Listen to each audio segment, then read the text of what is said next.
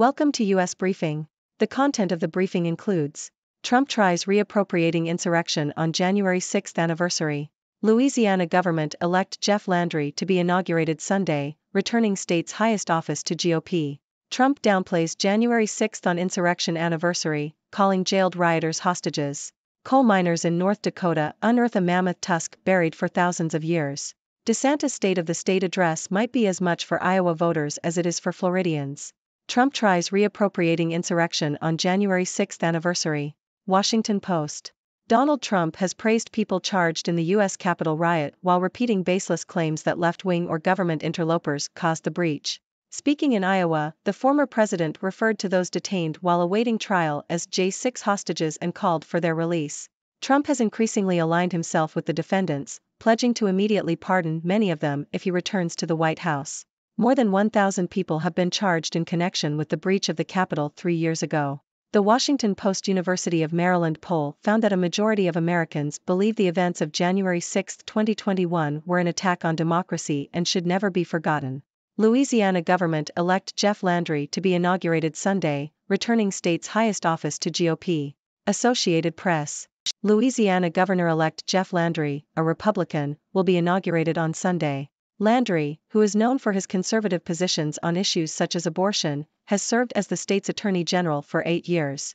He won the gubernatorial election in October, beating a crowded field of candidates and avoiding a runoff. Landry has raised the profile of attorney general since taking office in 2016, championing conservative policy positions.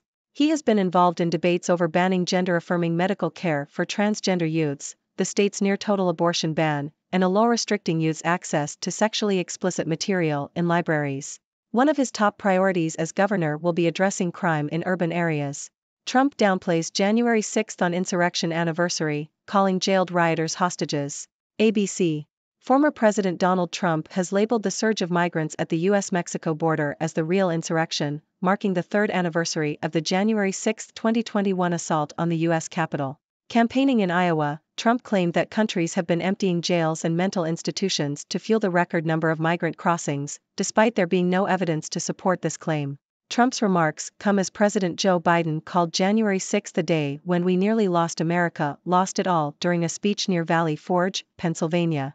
Coal miners in North Dakota unearth a mammoth tusk buried for thousands of years.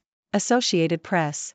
Miners in North Dakota have discovered a mammoth tusk, bones and teeth thought to be between 10,000 and 100,000 years old in a mine 40 feet deep.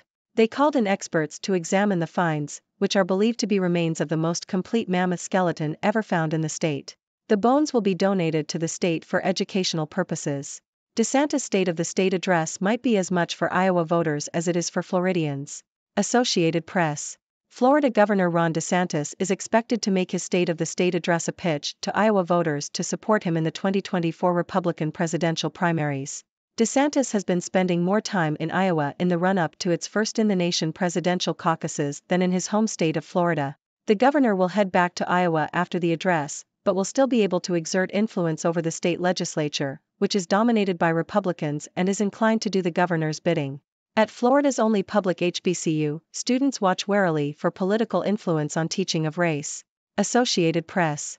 Florida A&M University, FAMU, students fear that a new law signed by Governor Ron DeSantis that blocks public colleges from using taxpayer money on diversity programs will affect the teaching of topics related to race and American history.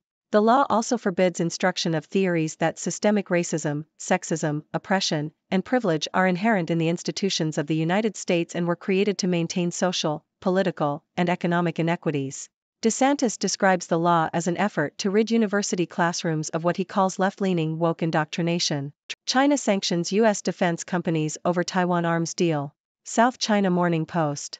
China has imposed sanctions on five U.S. defense companies in response to Washington's arms sale deal with Taiwan. The sanctioned firms are BAE Systems Land and Armament, Alliant Tech Systems Operations, AeroVironment, Viasat, and Data Link Solutions. Beijing has banned Chinese companies and individuals from doing business with the sanctioned firms, and all property owned by the firms in China will be frozen. The move follows U.S. approval in December for a $300 million deal with Taiwan to upgrade its tactical information system. China views Taiwan as part of China and has threatened to reunite the two by force if necessary. Trump barely mentions January 6 on third anniversary of assault on the Capitol. Yahoo! Former President Donald Trump barely mentioned the January 6, 2021, assault on the Capitol as he rallied supporters in Iowa on Saturday, but his speech was centered on countering President Joe Biden's argument that the riot and Trump's broader effort to overturn the 2020 election represent a grave threat to the republic.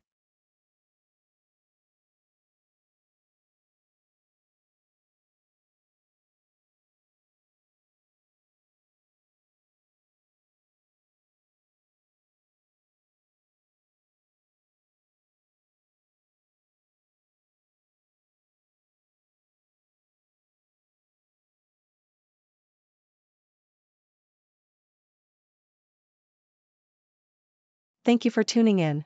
The content above showcases the latest briefing reports and analytical synopses, thoughtfully curated by the 6DO team.